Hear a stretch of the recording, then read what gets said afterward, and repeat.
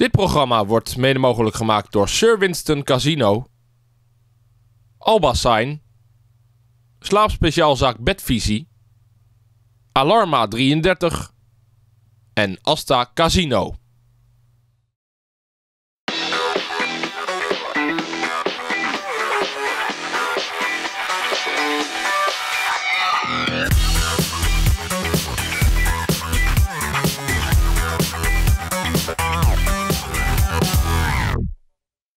Hartelijk welkom bij weer een nieuwe aflevering van Haaglanden Voetbal aan tafel. Natuurlijk weer met twee nieuwe gasten aan tafel en onze sidekick Rob Blankenstein. In deze aflevering komt ook Jan Linkhoff voorbij met zijn gesproken column. Maar we hebben ook weer een team van de week. En niet zomaar een team van de week, want dit keer is dat de vrouwenselectie van de SV Wassenaar.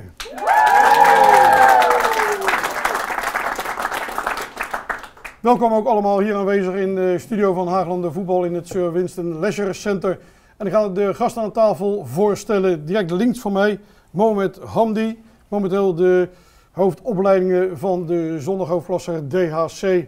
En naast hem Patrick Persat. En dat is de hoofdtrainer van Oranjeplein, Postduiven, spelend in de vierde klas op zondag. En Rob Blankenstein, onze sidekick, had ik al aangekondigd.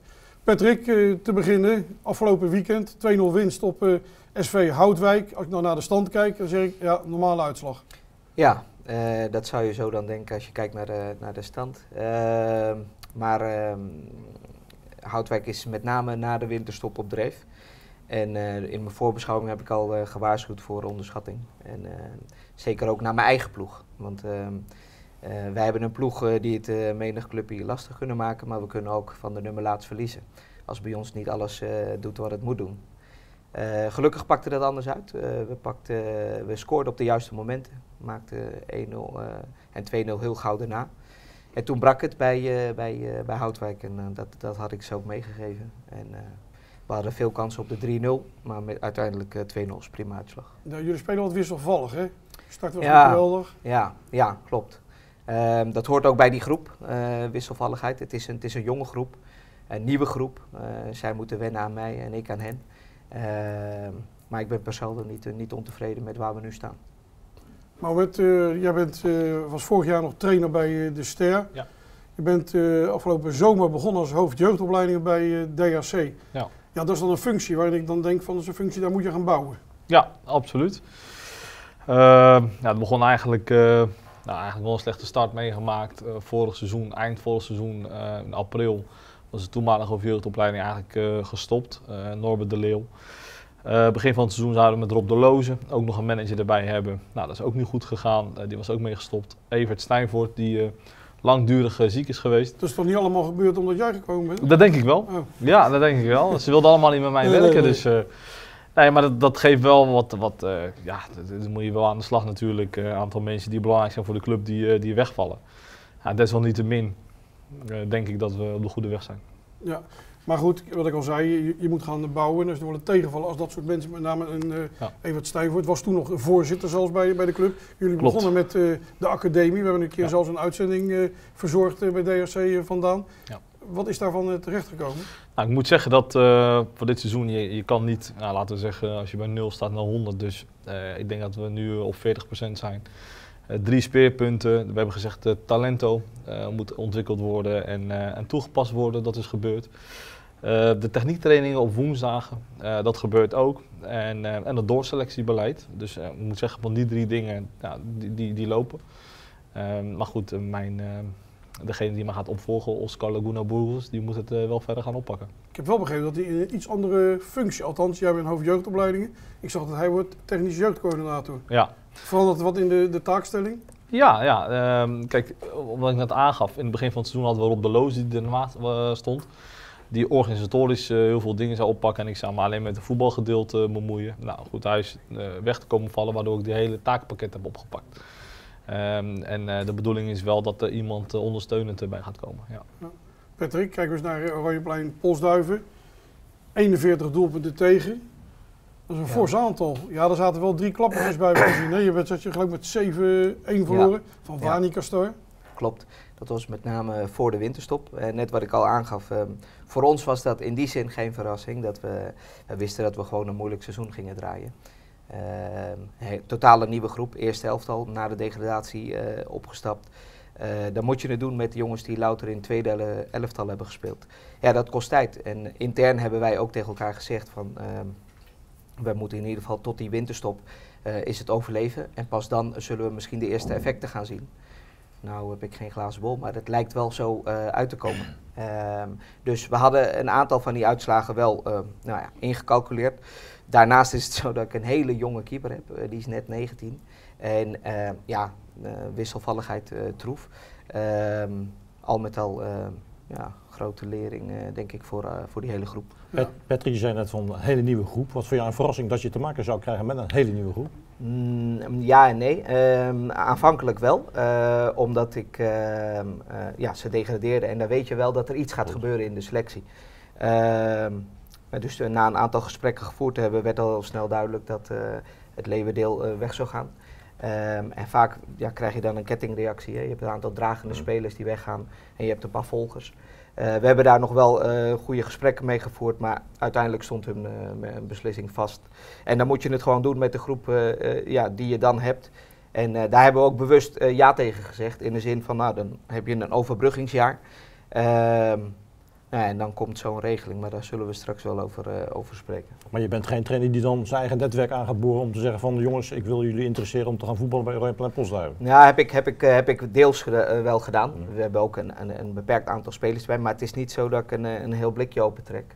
ik denk nooit dat dat zo goed is om, om ja, spelers met je mee te trekken naar welke club je ook mee beweegt. Ik zou er wel een aardige uitslag erbij staan. jullie speelde uit tegen de, de koploper. Hè. Die worden ja. gewoon kampioen. Ja. Kickers 69. En daar spelen jullie 5-4. Ja. ja, dat is een, uh, wedstrijd uh, met een mooi verhaal. Want wij staan gewoon uh, 4-2 voor uit tegen de aanstaande kampioen. Ja. Alleen ehm, een wedstrijd duurt 90 minuten en soms iets meer met blessuretijd. En wij stonden echt na 90 minuten stonden wij op 4-3. Um, en ik deed nog twee wissels om, om wat tijd te winnen. Maar in de 96e minuut uh, schoten zij gewoon 5-4 binnen. En uh, op een gegeven moment was bij mij uh, ja, was het pijpje leeg bij de jongens. Ja. en we konden dat tempo niet meer bijbenen. Dus het was wel een kwestie van wachten op. Ja. Alleen, nou ja, goed. we hebben toen wel aangetoond dat we het wel kunnen. Dat het kan. Mo Mohamed, je zei bij DHC. De, bedoelst de doelstelling met DHC is dat op een gegeven moment de club, met name het eerste, het veel meer gaat doen met de eigen jeugd. Die die, die op een gegeven moment eraan zit te komen. Ja. Als we kijken naar dit seizoen bij, bij DRC, ook heel wat jongens toch daarin die ook vanuit die eigen jeugd komen. Hele jonge spelers erin. Dat is een begin. Dat is absoluut. Ook wat spelers van, van, van die bijvoorbeeld uh, bij ADO in de jeugd hebben gespeeld. Maar goed, ook nog jeugdig zijn, dus toch uit de regio. Uh, dus uh, die weg is ingezet, absoluut. En nou, Robbie Lange wil dat ook graag voortbrengen. En dat, ja, dat het nu zo goed gaat, ja, dat is natuurlijk alleen maar meegenomen. Maar aan de andere kant, je bent volop aan het opleiden bij DRC. Ja. Je speelt met de jeugd op een uh, vrij goed niveau. Ja, je loopt wel het risico dat regelmatig nu niet de minste spelers links-rechts worden weggetrokken door een Sparta, een Feyenoord, een ADO Den Haag. Absoluut. Als we nu al kijken naar, uh, naar de jeugd van DRC en dan uh, is nu ja, bijna naar eind maart toe zijn er al vier spelers gescout vanuit BVO's. Ja, nou goed, dat is dat is inherent aan, aan, aan een jeugdopleiding hebben die vrij bekend staat in de regio. En um, ja, voor heel veel BVO-clubs is dat natuurlijk altijd de reden om, uh, om een kijkje te nemen. Nou, daar kunnen we als DRC zijn er wel heel trots op zijn. Maar goed, aan de andere kant, ja, dan uh, gaan ze... Ja, want vorig jaar had je een speler, die was 15 of 16 jaar. Die maakte zijn debuut al in het eerste elftal, maar ja, ging wel naar de, de Feyenoord-jeugd. Ja, ja, maar goed, dat, dat soort dingen dat hou je niet tegen. Kijk, eh, wij zeggen altijd van, uh, je moet het juist stimuleren als een BVO-club komt ja, voor een speler, dan moet je zeggen van nou, ga er alsjeblieft heen. Want dat is ook weer voor ons uh, natuurlijk een fantastische PR-materiaal, een visitekaartje inderdaad voor de, voor de regio. Dus uh, nou, aan de ene kant zijn we trots op, aan de andere kant vinden we het natuurlijk jammer. Maar aan de andere kant, dat DRC zegt, we moeten het vooral met eigen jeugd gaan doen. Daar zit natuurlijk ook een financieel uh, plaatje als achtergrond achter. Nee, absoluut. Ik denk dat het uh, geen geheim is dat, uh, dat de DRC uh, het financieel lastig heeft. Nou goed, dus dat betekent dat je creatief moet zijn. en tot nu toe ja, pakt dat gewoon goed uit voor het eerste elftal. Goed, we gaan dadelijk met jullie verder praten, want ja, het is tijd voor het team van de week. had het al aangekondigd, ons team van de week dit keer de vrouwenselectie van de SV Wassenaar. Afgelopen zaterdag speelden ze een thuiswedstrijd tegen Alvia. Het was fris op Kerkenhout. Wij gingen toch een kijkje nemen en we gaan nu naar die beelden kijken.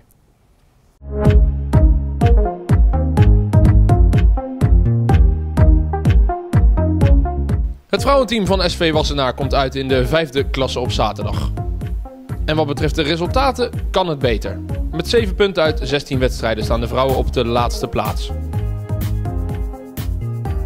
Maar aan de warming-up kan het niet liggen als je het zo ziet. Dus misschien valt er vandaag iets te halen. Thuis tegen Alvia, toch? Of tegen wie spelen we nou eigenlijk?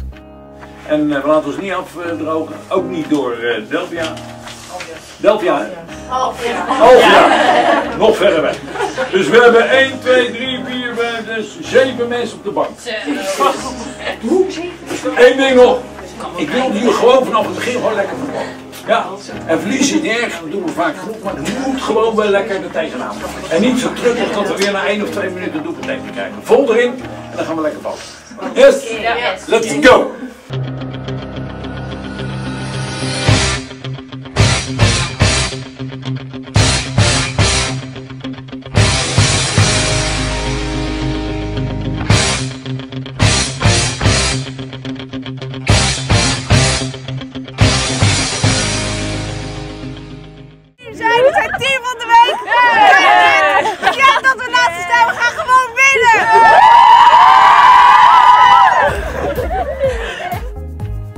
Zeven wissels, dat moet toch genoeg zijn, zou je zeggen. Dan de wedstrijd. Wassenaar direct in de aanval, maar een doelpunt, dat blijft uit. Dan de eerste echte grote kans voor Wassenaar, maar die bal gaat op de paal. 0-0 nog steeds dus. Dan nog een klein hensballetje, maar dat eh, wordt door de vingers gezien door de scheidsrechter. Uiteindelijk scoort Alvia het eerste doelpunt, maar Wassenaar komt terug en speelt met 2-2 gelijk. Inderdaad, 2-2 is het eh, geworden. Leonie van, van Eyck, als we helemaal terug gaan naar het begin. Zeven jaar geleden, heb een beetje het initiatief genomen. Ik geloof met Albert eh, van Biesen als, eh, als, als trainer.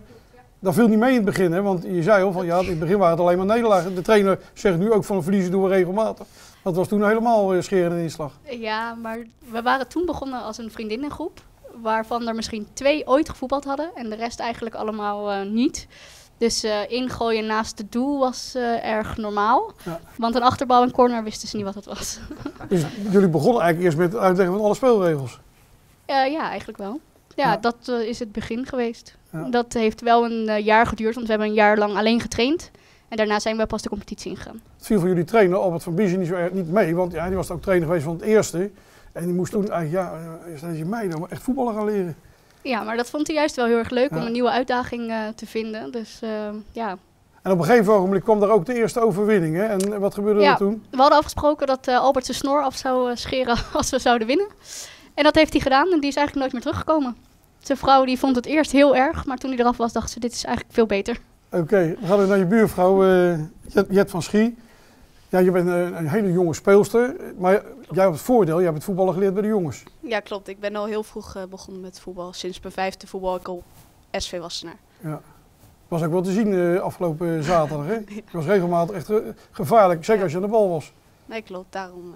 Eh, Je bent dit jaar, ondanks het feit dat je jong bent, ben je wel tot, eh, tot aanvoerster eh, ja, gebombardeerd. klopt. Want eh, jij gaat volgend jaar stoppen, dus er moet wel een opvolger zijn Ja. die een beetje opgeleid is. En, En luister eens, een- en luister eens een beetje naar je. niet heel erg, moet ik eerlijk zeggen. Nee? Nee, niet. Maar goed, als aanvoerster moet je dan wel die, die box gaan halen, die muziekbox gaan halen. ja, ja, ja, klopt. Maar dat moet je als aanvoerder soms doen. En het eh, komt allemaal wel goed. Oké, want je hebt een heel gezellig team. We gaan naar je Ja. buurvrouw, dus de, de keepster Aniek. Ja, van origine ben jij een keepster eh, bij, bij, bij het hockey. Dat is iets, heel, iets anders natuurlijk, hè? Ja, klopt. Ja, daar ben ik, eh, heb ik negen jaar gehockeyd, zeven jaar gekiept. Gestopt vanwege mijn opleiding en eh, bij de voetbal gekomen door een vriendin van me. Ja. Die zei, kom eens mee naar vriendinnentraining. Nou ja, prima. Maar goed, bij het hockey, daar ben je helemaal ingepakt. Ja. Met voetballen, daar sta je gewoon. Ja, dat was wel heel erg wennen aan het begin. Ehm, ik heb het wel een paar keer uitgelegd moeten krijgen van, joh, hou je handen zo, probeer dit, probeer dat. Keeperstraining gehad, maar het ging toch redelijk snel eigenlijk, dat Ja. ik het oppikte. En dan afgelopen zaterdag de eerste de beste bal op doel eh, was gelijk prijs, hè? Ja, dat is weer een beetje jammer, maar Ja. ja, ja hoort erbij. Maar wel een leuk team hè, waar je mee werkt. Ja, zeker, Ja. zeker. Dus en daar doe ik het je voor. niet kwalijk als het een keer verloren wordt, hè? Nee, zeker niet. Nee, nee. Dus de plaats eh, in het doel, dat is wel jouw plek. Ja, dat is wel mijn plek, ja, zeker. Goed, gaan we even naar eh, Jaap van Wissen. Dat is eh, niet de trainer, maar de assistent eh, trainer. Eh, hoe is het om met eh, het vrouwenteam te werken? Heel erg leuk. Heel, eh, er zit heel veel enthousiasme in, heel veel eh, ja, geduld, maar ook zeg maar, oprechtheid en elkaar ondersteunen. En we zien zeg maar, dat met name het laatste jaar de, de voetbalkwaliteit stukken beter wordt. Dat zagen we ook afgelopen zaterdag. Hè? Puntje binnengehaald. Ja. Tegen, tegen Alvia al dacht het, de trainer eh, Albert Verbies dat jullie tegen Delvia zouden spelen. Ja, ja, ja. ja. ja. Eh, maar jouw taak, eh, je bent Nee. assistent trainer, jullie doen het gewoon samen. Samen, ja. Eh, Albert die traint overwegend zeg maar, de, de woensdagen. Kan die niet, dan val ik voor hem in. En soms pak ik ook wel eens de maandagavond op. En als Albert er tijdens een wedstrijd niet bij kan zijn, dan neem ik het voortouw. En anders ben ik gewoon de vaste grens aan de andere kant. En dan coachen we van twee kanten. Mag wel niet als grensrechter, maar af en toe doe ik wel eens mijn mond open. Ja. De laatste tijd wat minder, hè, dames. Want eh, ja, god, het is wel eh, stimulerend en eh, Ja. Nou ja, ze zijn eraan gewend. Maar goed, en ja, wat ook belangrijk is bij, op elk niveau waar we voetballen, jullie hebben natuurlijk wel een geweldige sponsor. Ja, zonder meer, zonder meer. En daar zijn we ook enorm trots op, de dames allemaal. En ja, we zijn ook erg blij dat onze sponsor zeg maar, ons eh, zo goed bedeelt. En ons van enorme mooie outfits voorzien. Het was nog wat in de club voordat we dit voor elkaar kregen. Want het eerste jaar begon men al met roze. Toen zei ik, doe nou rustig aan. We zijn groen-wit. En langzamerhand gaan we dat inbrengen. Nou, dat werd dan zeg maar eh, uiteindelijk een, een mooi shirt, gesneden shirt. En waar we ook komen op verenigingen, iedereen kijkt ons echt aan en na van, goh, die zien er goed uit.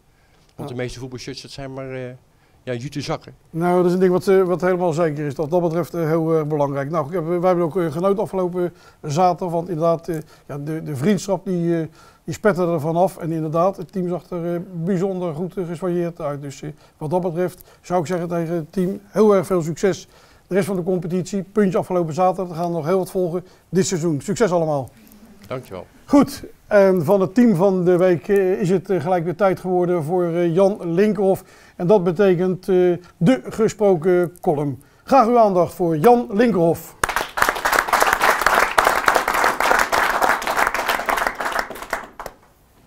Wat was het toch altijd heerlijk als je op zondag of zaterdagochtend die kantine inliep. Waarbij je binnenkomst de, de geur van vers gezette koffie opsnuift, evenals de geur van vers gebakken kroketten. Waar vinden we nog die echte ouderwetse voetbalkantine? Ja, die bijna historische voetbalkantine. In Den Haag wordt het steeds moeilijker om deze ouderwetse nostalgische plek van herkenning eh, terug te vinden. Er zijn er toch nog wel een paar. Denk maar aan de kantines van WIC, VCS, Semper Altius, ODB en misschien nog wel een paar. Tegenwoordig worden de kantines gebruikt als buurthuis van de toekomst. Of misschien wel de toekomst van het buurthuis. Ik moet er soms wel een beetje om lachen wat je tegenwoordig niet allemaal bij zo'n voetbalclub annex buurthuis tegenkomt aan activiteiten. Van alles moeten ze binnenhalen, logischerwijs een noodzaak om de kosten te kunnen betalen, maar toch, het blijft wel een voetbalkantine. Bij zo'n buurthuis van de toekomst, annex voetbalkantine, kun je tegenwoordig echt alles. Je kunt bridgen, zwangerschapsgymnastiek, taekwondo voor bejaarden, koken met de buren, jeu de boel, kleiduiven schieten met losse vlodders, line dance met asielzoekers, yoga voor alleenstaanden, bloemschikken met droogbloemen en ga zo maar door. Ik zit eigenlijk nog een beetje te wachten op dating soccer. Misschien dat ik dan ook eens een keertje ga kijken. Je weet nooit wie je moet dekken. Ik begrijp volkomen dat noodzaak is voor vele clubs met verouderde accommodaties. Maar het verlangen naar de echte ouderwetse voetbalkantine blijft mij, bij mij toch vaak opborrelen. Vroeger was alles beter. Ja toch?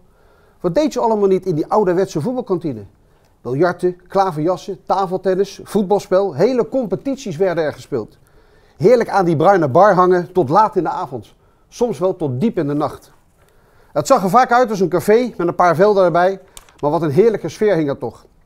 Ik mag bij gelukkig prijzen dat ik als trainer nog altijd bij een aantal historische clubs heb gewerkt. Wat dacht je van Duinoord? In mijn tijd echt een café met twee velden erbij. Daar was het altijd feest. Na de wedstrijd bleven de spelers hangen tot een uur of zeven. Vervolgens gingen ze naar huis en kwamen dan omgekleed weer terug naar de kantine om verder te kletsen en te drinken. En daarna gingen ze op, stak, op stap. Bij Jak, nu SVC, was het niet anders. Tante Tini stond achter de bar en na zes uur zat ze voor de bar. Prachtig. Veelal gingen we daarna nog naar Café de Rembaan om verder de wedstrijden te analyseren. al was dat vaak pas rond een uur of negen. Bij VCS hing in mijn tijd ook nog die heerlijke voetbalsfeer in die oude, nostalgische kantine. Tegenwoordig zijn de kantines schitterend ingericht en hypermodern.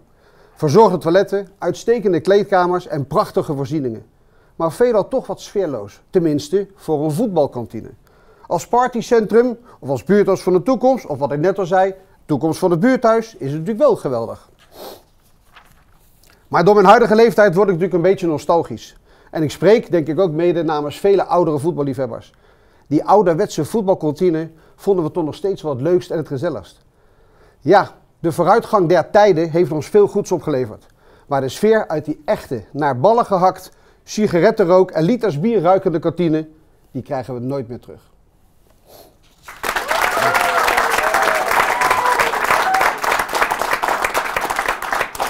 Jan Linkhoff met weer zo'n prachtige gesproken column. Ja, een stukje nostalgie? Die oude voetbalkantines. Tegenwoordig buurthuis van de toekomst. Patrick, herinner je dat nog wel, die oude kantines? Ja, ik had het eh, net nog met Rob over. Ehm, ik ben ooit eens begonnen bij Oranjeplein met voetballen. En dat was toen eh, aan de buurtweg in Wassenaar. Ja. Dat waren nog eens eh, kantines, ja. Was dus het ik herken dat eh, nog wel. Kantine met al dat glas eromheen. Klopt, klopt, klopt. Maar wel met dat sfeertje, zeg maar. Ja. En, Voor jou ook herkenbaar, eh, Mohamed? Ja, ik heb eh, bij Lugdunum in Leiden gevoetbald. Dat was eigenlijk precies hetzelfde. Dus eh, ja, dat, dat mis ik ook wel eerlijk gezegd. Goed, we gaan met jullie eh, verder eh, praten. Eh, Patrick, jij wordt straks de eerste trainer van de nieuwe fusieclub. Hè? Want Oranjeplein Postduiven gaat samen met ADS. Dat wordt Klopt. dan mooi gekozen naam SV Madenstein. Madenstein, ja. Maar als je dan kijkt, ADS komt erbij, kwalitatief. Komt er nog heel veel bij? Ehm, heel eerlijk gezegd, kwalitatief denk ik, denk ik van niet. Ehm, maar kwantitatief wel. En, en daar is het eigenlijk om te doen. De beide clubs zijn, zijn te klein om een, om een complex alleen te bespelen. Ehm, en ook kwantitatief kunnen wij dus een, een, eh, een, eh, een, eh, impuls gebruiken.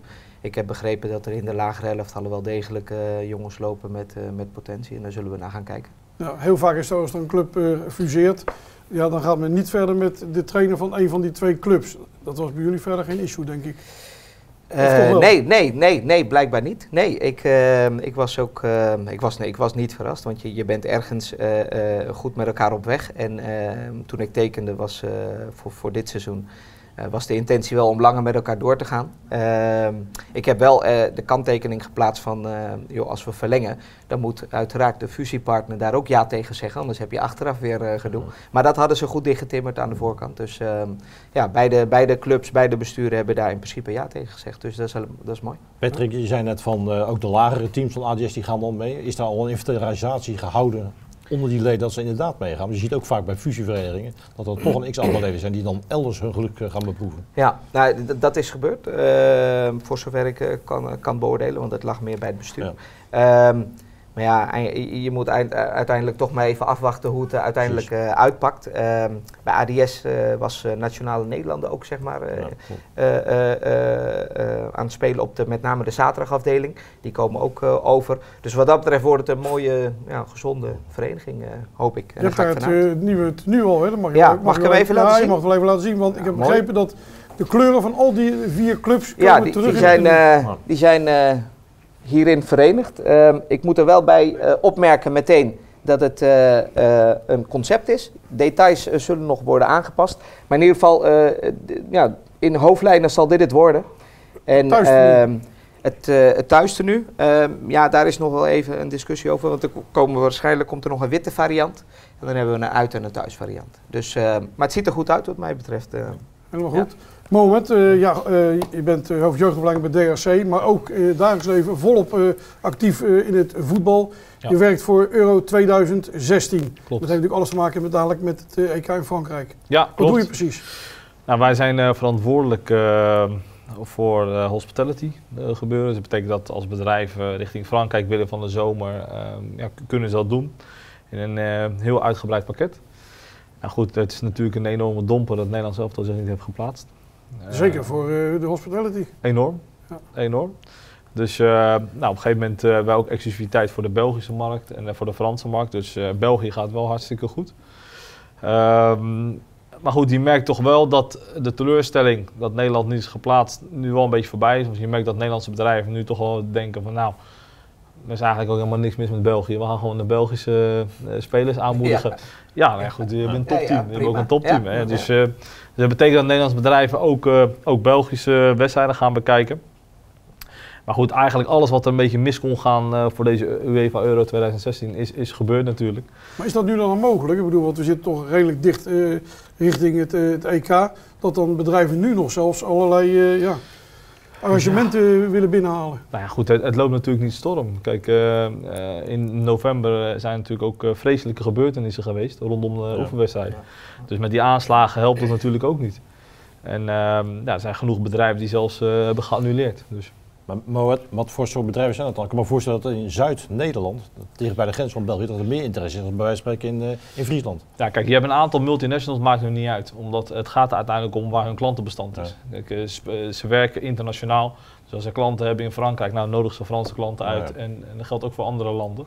Dus die multinationals, die, die zijn er altijd wel. Eh, de lokale bedrijven, of die bijvoorbeeld alleen maar in Nederland en België zaken doen, nou, goed, die, die, die zoeken dan eh, de Belgische wedstrijden op. Maar ik ook niet nadelen dat met name eh, UEFA en misschien nog veel meer FIFA natuurlijk ook de laatste nou, zeg maar, maanden niet erg positief in, eh, in het nieuws zijn geweest. Speelt dat nog, speelt dat nog mee? Ja, nee, echt. dit is wat ik, wat ik heb begrepen, is dat alles wat er eigenlijk een beetje mis kon gaan, dat is eigenlijk misgegaan in, in de hele procedure. Ook met eh, ja, de, de, de, de naam van de, van, de, van de FIFA. Eerst was het alleen maar van nou, de FIFA, nou op een gegeven moment UEFA ook. Ja.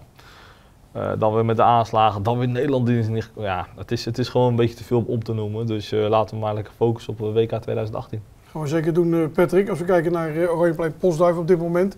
Jullie voeren samen met WIC de, de, de middenmoot aan. Ja. Is dat ook de plaats waar eh, jullie op dit moment ook thuis horen?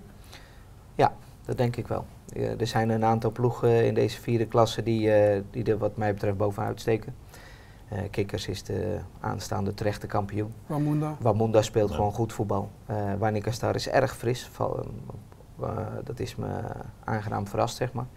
Ehm, maar dan heb je een, eh, een, een, een paar ploegen die, eh, die nog de, kunnen aanhaken. En dan heb je de tweede helft van, eh, van de ranglijst. En dat, dat, is, ja, dat is heel matig, moet ik Het is jammer dat jullie natuurlijk het seizoen eigenlijk een beetje slecht begonnen zijn. Kijk naar de Ja. eerste periode. Want Klopt. als je daar wat meer punten haalt, dan had je Ja. toch duidelijk hoger gestaan. Ja, ja, ja, zo heb ik ook zitten calculeren. Alleen, zoals ze dat mooi zeggen, uiteindelijk sta je daar waar je hoort te staan hè, aan het eind van de rit. Maar goed, middenmoot, daar ben je natuurlijk wel gelukkig mee. Want als we kijken naar SVH Celeritas staat onderaan. Ja. Gaat daar degraderen naar de vijfde klas. Ja.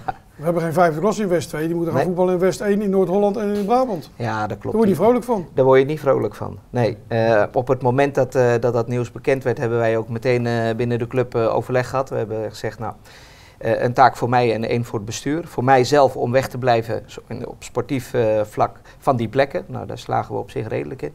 Ehm, maar ik vind dat we er principieel zo in moeten zitten dat je niet gaandeweg de competitie, gaandeweg een wedstrijd, de spelregels verandert. Dat is gewoon niet correct.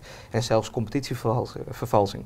Als je kijkt bijvoorbeeld eh, naar, eh, naar mijn clubje, dan eh, hebben we toen we starten bewust voor gekozen om een overgangsjaar te maken. En het te doen met een groep die, die zich nog moet waarmaken. Als je van tevoren had geweten dat er een, een degradatieregeling was geweest, dan hadden we wellicht een aantal spelers erbij gehaald waarvan je weet dat ze er direct ja. kunnen staan. Hè? En, ehm, eh, dus ik, ik, ik, ik vind het een hele vreemde, ja, vreemde maatregel. We hebben, we hebben eh, vragen gesteld bij, eh, bij de KNVB. Tot op heden één reactie en dat is dat ze er intern zelf nog niet uit zijn. Nou, dat zegt mij alweer genoeg. Het kwam bij mij ook eigenlijk over als een soort van een, bijna een ontmoedigingsbeleid voor op die zondag. Want welke alternatieven heb je? Ehm, ja, je kunt in de reserveklasse gaan spelen. nou ja. voor een aanstaande fusieclub geen optie. Nee. En, eh, eh, en, en dan naar de zaterdag. En het lijkt erop alsof ze die beweging willen stimuleren op die manier. Maar goed, Patrick, ik ik Ja, Patrick, weet je of ze qua bestuur onderling ook contacten zijn met andere Haagse verenigingen om dat fenomeen aan te pakken bij, Ja, eh, bij precies. Ik, eh, eh, ik, ik weet dat mijn club in ieder geval de eerste aanzet wel heeft gezet. Ik, ik weet niet welke clubs zijn aangehaakt. Maar ik vind wel dat je daarin eh, collectief een statement moet maken richting, richting KNVB. Want eh, het- ja, niemand zit te wachten op eh, West 1, West 2 en Zuid om dat bij elkaar te vegen. Het is heel simplistisch gedacht om, om dat bij elkaar te harken. Maar goed, het is ook in ieder geval geen, eh, geen Hosanna in West 1. Er zijn ook al zes clubs teruggetrokken. Ja. Maar want ik wil nog even naar jou toe gaan. Want je bent bezig bij de KNVB met een leergang management betaald Ja. voetbal. Klopt. Waar liggen jouw ambities op dat gebied? Eh, nou goed, die opleiding heb ik bewust gekozen om me wat eh, breder te oriënteren. Ik heb eh, natuurlijk technisch op het voetbalveld gestaan, eh, licenties gehaald. Eh, commercieel bij ADO Den Haag. Nou, nu eh, zijn we met ons bedrijf naast UEFA Euro 2016 verantwoordelijk voor drie clubs, Eredivisieclubs. FC Utrecht, Rode JC en NEC Nijmegen, waar we ook de commerciële belangen van eh, behartigen. Nou, toen dacht ik van, nou, dit is wel een goed moment om me breed te oriënteren. Dus ik nou, ben nu ook in gesprek met een Jupiler League club om te kijken of ik daar in het management wat ga doen. Dus dat is wel een beetje mijn doel, ja. Met je een soort directeur uh, ja. bij, een, bij, een, betaald voetbalorganisatie. Je hebt twee goede mensen die uh, jou uh, daarin onderrichten. Mohamed Allah, Mo Allah en Erik Gudde.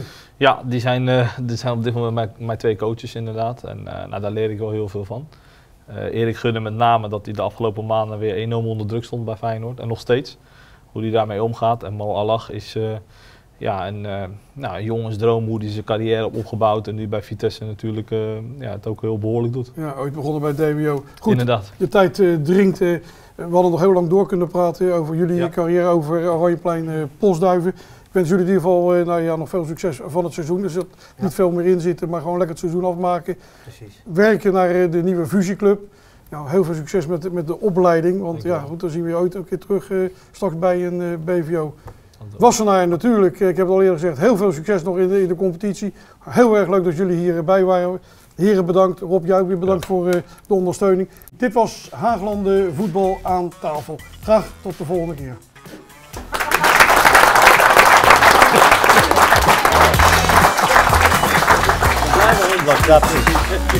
Zo lossen we dat op. Zo lossen we dat op.